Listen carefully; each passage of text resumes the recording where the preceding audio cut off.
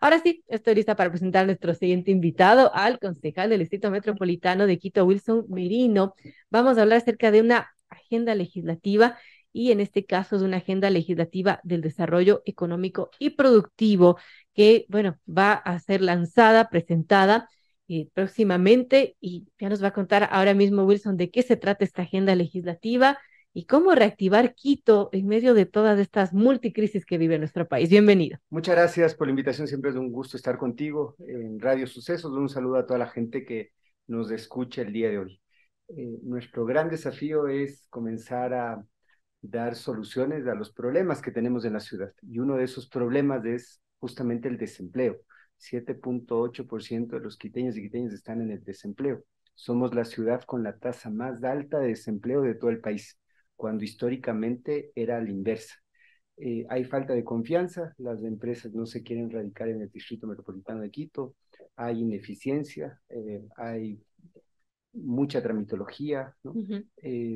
y bueno, así en realidad es muy difícil poder avanzar. Eh, desde la Comisión de Desarrollo Económico, que presido junto a los concejales Andrés Campaña y Analía Ledesma, nos hemos planteado tres grandes propósitos, tres grandes objetivos con esta agenda legislativa. La primera es impulsar un gran acuerdo social por el empleo digno, el, empleo productivo, el empleo decente, hasta bajar este índice de desempleo que tenemos en la ciudad el segundo objetivo que nos hemos planteado es mejorar la productividad de la mano del diálogo social y finalmente reducir la, tramitología a través de la tecnología. Tres grandes objetivos para los cuales eh, hemos presentado o estamos presentando un paquete de proyectos normativos, de ordenanzas. Eh, son 12 ordenanzas las que presentaremos en estos dos años. Ya hemos presentado cinco ya están en proceso legislativo 5.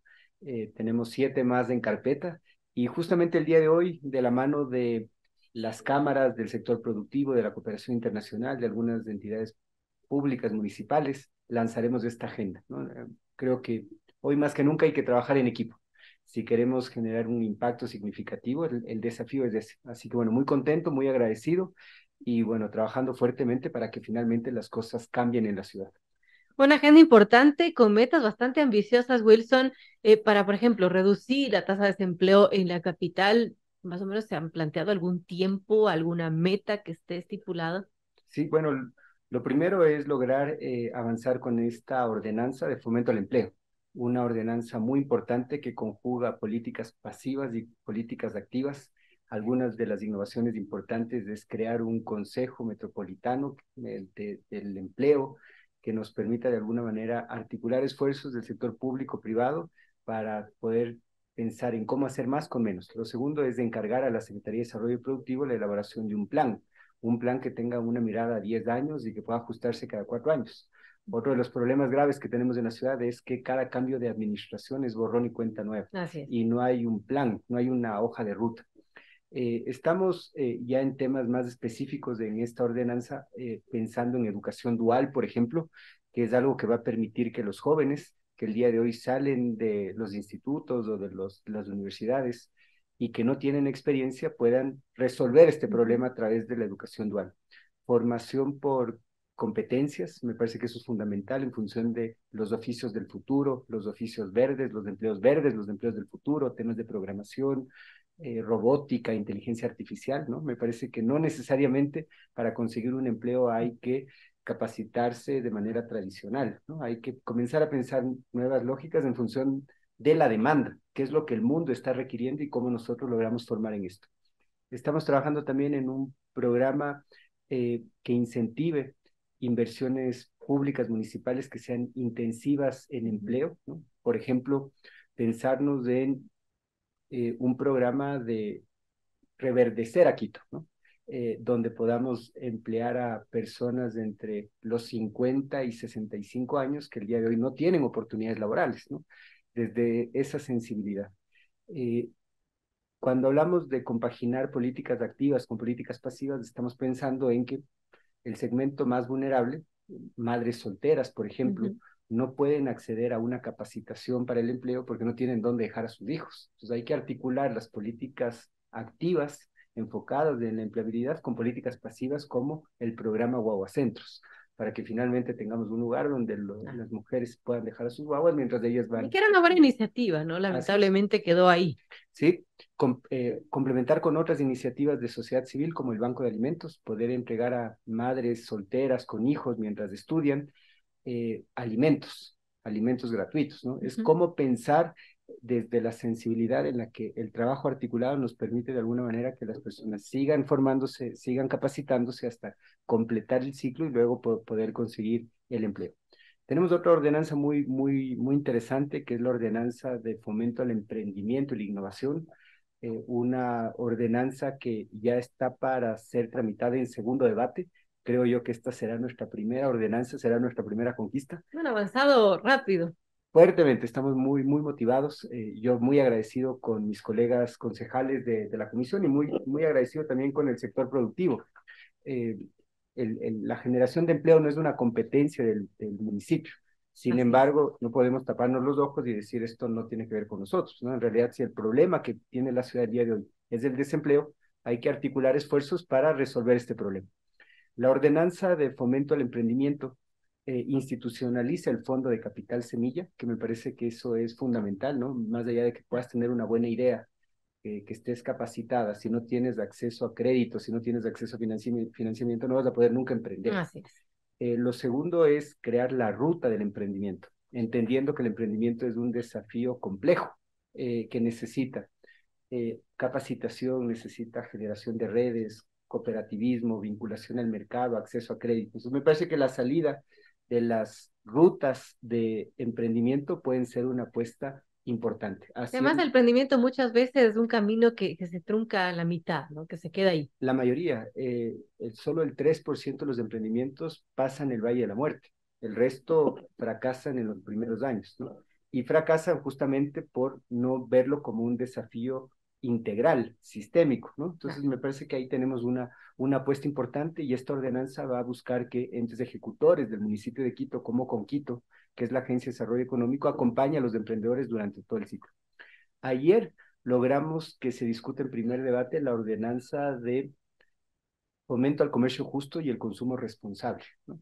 Y más allá de los valores eh, que tiene el comercio justo, que son lindos, ¿no? Que es precio justo, justicia social, justicia ambiental, equidad. Eh, hay un tema competitivo muy interesante.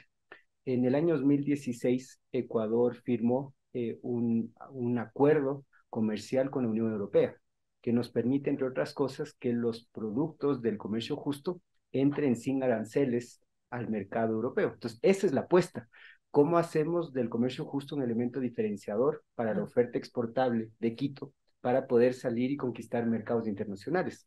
No pensar el comercio justo desde lo chiquito, sino desde lo grande, lo desafiante.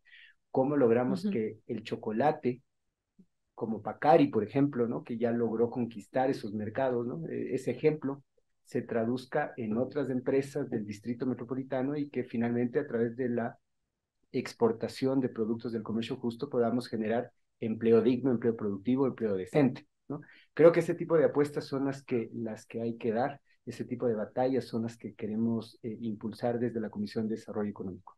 Bueno, una agenda bastante ambiciosa, como mencionaba, así que muy importante reactivar a Quito, pero Quito tiene una multiplicidad de problemas, Wilson, y más allá también del tema de activar el empleo, el desarrollo económico.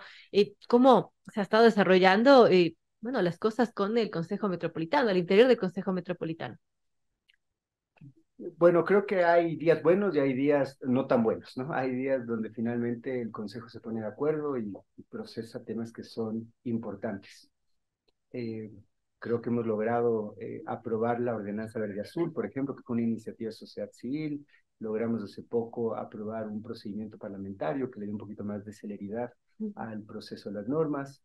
Eh, logramos de alguna manera aprobar un presupuesto creo que hay algunas cosas importantes en las que hemos avanzado. Hay cosas en las que creo yo que hay que acelerar el paso. Yo, por ejemplo, que también soy parte de la Comisión de Movilidad, le pedido al alcalde que se ponga en consideración del Consejo el Plan Maestro de Movilidad Sostenible 2022-2042.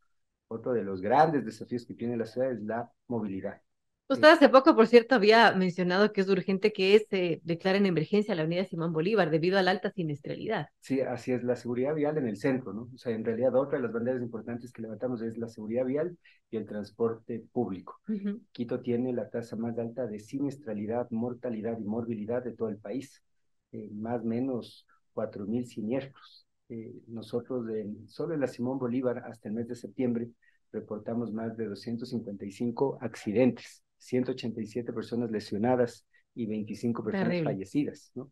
Entonces, esto tiene que llevarnos a tomar acción. Así que, bueno, logramos poner ese tema también en debate del Consejo. No fue fácil, eh, pero finalmente provocamos esta crisis en función de los datos que están allí, no me los estoy invitando, inventando yo, y él, logramos que el alcalde finalmente declare como prioridad la seguridad vial en las vías, principalmente en la avenida Simón Bolívar. Esto tiene que desencadenar en que cuatro instituciones, la AMT, la EMOP, la Secretaría de Movilidad y la Secretaría de Comunicación, presenten un plan emergente y que nos digan qué van a hacer el próximo año en cuanto a infraestructura segura, en cuanto a controles eficientes, en cuanto a un plan de sensibilización, de educación para ir generando cambios en el hábito y en la cultura.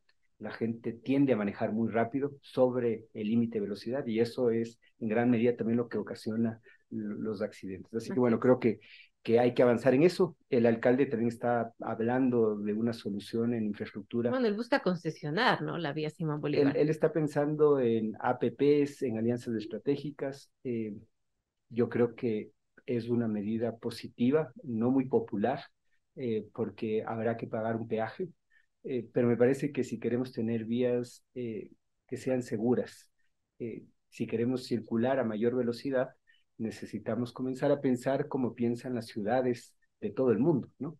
Eh, la prioridad no debe ser el transporte particular. La prioridad de los recursos municipales tiene que estar centrada en el transporte público. Esto tiene que significar metro y más metro para Quito. Que se inaugure finalmente el metro de Quito el primero de diciembre. Estaremos expectantes de ¿Usted cree que se va a cumplir esa fecha ahora finalmente, ahora sí? Ojalá que sí. Yo, en cuando empezamos el Consejo, yo presenté un proyecto de resolución para crear una comisión multipartidista que fiscalice el mercado. Lo recuerdo. ¿Qué pasó con ese proyecto? No, no se aprobó. Eh, no logré eh, calar con la propuesta en, en, el resto de colegas concejales. Eh, y creo que hubiera sido muy positivo el día de hoy, ¿no? El día de hoy una comisión podría tener información sobre lo que está sucediendo. Y ahora es muy difícil. información dispersa y no, no hemos logrado procesar. Pero en todo caso, eh, yo eh, exhorto al alcalde, al gerente de la empresa Metro, al secretario de Movilidad y a todas las entidades municipales a que trabajen 24/7 para cumplir con lo que se ha ofrecido a los quiteños y quiteñas. ¿no? Eh, se ofreció que el Metro de Quito entrara en funcionamiento comercial la primera semana de diciembre y así se tiene que dar. nosotros ahora estamos para colaborar, para ayudar en lo que el alcalde requiera y a partir del el inicio de operación, evidentemente, iniciaremos nuestro, nuestro, rol de fiscalizadores, porque hay muchas cosas que no se han contado sobre el Metro de Quito y hay mucha rendición de cuentas que se le tiene que dar a la ciudad. Es un tema complejo, amigos. Son las 7.54. Estamos dialogando con el concejal del Distrito Metropolitano de Quito, Wilson Merino. Hablamos de la Agenda Legislativa de Desarrollo Económico y Productivo que Wilson ya nos ha contado. Y bueno, también sobre los problemas de Quito. Ahora, el tema de movilidad, el tema del metro que bueno, ya eh, parecía como ese cuento chino, el cuento del lobo, ¿no? Que ya viene, ya viene, ya se inaugura el metro y no ha pasado. Lo cierto es que han dado una fecha nuevamente y queda menos de un mes. Sí. Eh, yo espero, eh, espero que, que, finalmente se cumpla con la fecha. el alcalde en su última rendición de cuentas semanal que tiene, así lo anunció, dijo que no hay nada para pensar que la fecha se va a mover. Eh, como te decía, ahora estamos para apoyar, para colaborar eh, en todo lo que el alcalde requiera para poner en marcha el Metro de Quito, eh, esperando que cumpla con el ofrecimiento que ha hecho a la ciudadanía, que, que entre en funcionamiento el primero de diciembre. Y una vez que esto suceda, pues decirte que vamos a avanzar en nuestro proceso de fiscalización. No solamente para señalar los responsables de la tragedia que ha sido el Metro de Quito, sino como un proceso de aprendizaje si queremos extender el metro de Quito a Calderón, a Lofelia, tenemos que aprender sobre lo mal hecho para no cometer los mismos errores. Entonces, la fiscalización mm. pensada también en un proceso de aprendizaje. Hay temas que parecería que todavía no están resueltos. Temas como cuáles. Reestructuración de rutas y frecuencias, eh, todo lo que tiene que ver con inversiones sobre la tierra para avanzar con un sistema de transporte multimodal. Lo ideal es que la gente utilice el metro, pero luego coja una bicicleta, camine, la inversión en aceras, eh, que fue parte de la oferta de campaña, ¿no? que esta sea una ciudad más caminable, que el día de hoy no lo es, no hay aceras, no hay veredas. Así es. Eh, entonces en eso hay que trabajar fuertemente hay que reestructurar las rutas con, con los señores transportistas, ¿no? Eh, y hay que tener liderazgo, ¿no? Porque finalmente es... Que ha sido un gran pendiente de distintas administraciones y ninguna ha podido reestructurar esas rutas. Un gran, un gran pendiente. Eh, creo que hay que, yo particularmente creo que hay que avanzar en la municipalización del transporte. Y ese es un desafío de mediano y largo plazo, pero hay, hay que avanzar. Eh, creo que hay que empezar por la dimensión del control creo que el municipio de Quito tiene que volver a tener el control de la movilidad en Quito. Hay buses que circulan el día de hoy que no están matriculados. Hay choferes de buses que circulan el día de hoy con licencias vencidas, en exceso de velocidad.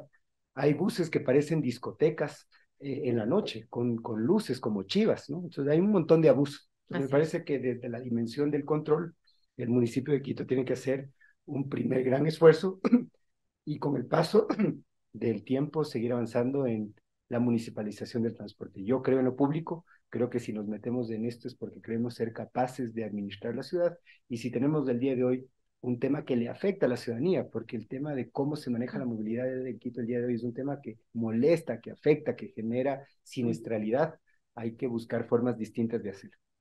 Importante amigos, son las 7.57, conversamos con el concejal Wilson.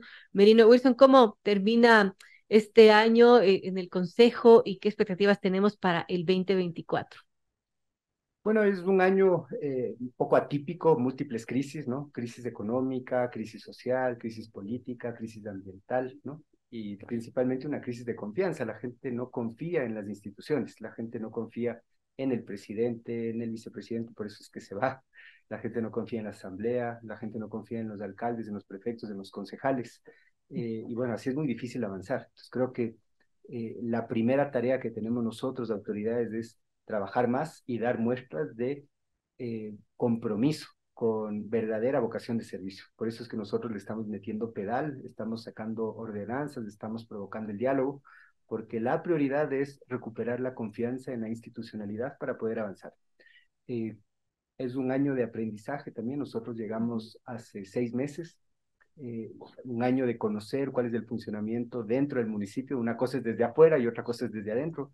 Eh, no es tan sencillo como uno quisiera, eh, pero bueno, hay que dar la batalla, hay que dar la pelea, hay que predicar con el ejemplo, hay que tener una visión clara de hacia dónde se quiere ir, hay que hacer equipo, hay que buscar consensos, hay que dejar el radicalismo, el odio, la polarización y hay que pensar en la ciudad. O sea, para mí la prioridad es generación de empleo. ¿Y qué puedo hacer desde el espacio que estoy para finalmente favorecer que haya empleo digno, decente, productivo, que los jóvenes no migren, que las personas de entre los 50 y 65 años encuentren un empleo que el día de hoy no lo tienen, eh, cómo pensarnos en la globalidad, cómo dejar de ser una aldea y comenzar a conectarnos con oportunidades del mundo, cómo llevar a la ciudad a la discusión de cambio climático, a la discusión de transformación digital, del derecho a la ciudad, de ciudades de proximidad, cómo reducir la pobreza y el hambre, ¿no? Eh, y es un tema muy complejo. 30% de quienes habitan en la ciudad tienen, eh, experimentan hambre moderada y 3.6% de quienes viven en la ciudad experimentan eh, hambre extrema. Eh, entonces eso no es un tema menor, es un tema complejo.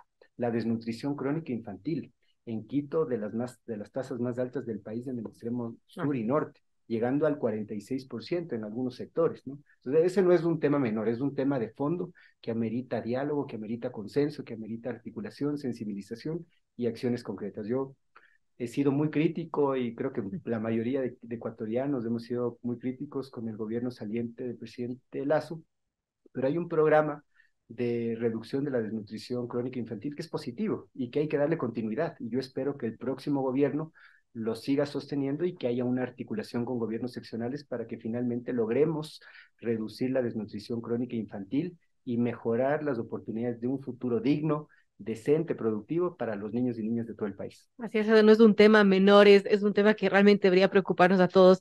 Amigos, de un punto, gracias a Wilson Merino, concejal del Distrito Metropolitano de Quito, por comentarnos, bueno, varios temas respecto a la capital y entre ellos esta agenda legislativa del desarrollo económico y productivo de la capital. Ojalá pues tenga eh, el éxito que se merece y que se pueda reactivar ese empleo en Quito para no tener una de las tasas más altas del país de desempleo. Así será. Eh, vamos a trabajar con mucho ahínco, con mucha sensibilidad eh, y haciendo equipo. Creo que el, la necesidad de generar esto de articulaciones con el sector privado, con el aparato productivo, con la academia, con la cooperación es fundamental para resolver un problema complejo. Te seguiré contando los avances de esta agenda. Muchísimas gracias. tomaremos el pulso de esta agenda.